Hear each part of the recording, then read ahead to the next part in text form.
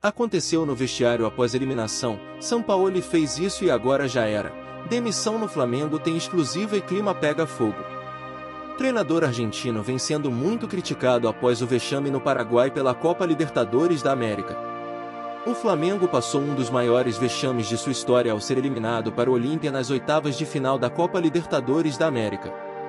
O time ainda saiu na frente com gol de Bruno Henrique, mas tomou três gols pelo alto e deu adeus à maior competição sul-americana de forma vergonhosa e soberba. Após o apito final, a torcida flamenguista se mostrava muito revoltada nas redes sociais e também no Paraguai. O trabalho de Jorge Sampaoli nunca foi unanimidade para a nação e também existem focos de insatisfações dentro do próprio clube. Agora, surgiu uma nova notícia nas últimas horas que pode impactar de vez o futuro do CRF nesta temporada. Sampaoli se mostrou muito abatido após o jogo no vestiário. A relação que já era fria tende a ficar pior.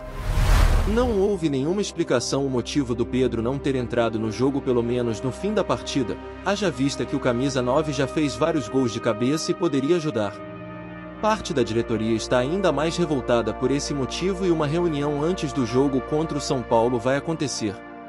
Há dúvidas que Sampaoli vai conseguir reverter esse quadro se mostrando abatido e também não tendo quase nada de relação com os jogadores. Já há um movimento de deixar um possível substituto engatilhado para mais uma mudança.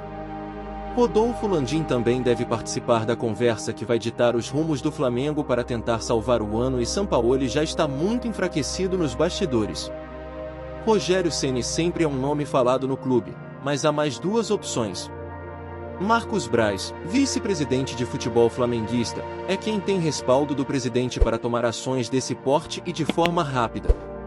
É isso torcedor do mais querido, deixe seu like e se inscreve no canal. Até o próximo vídeo.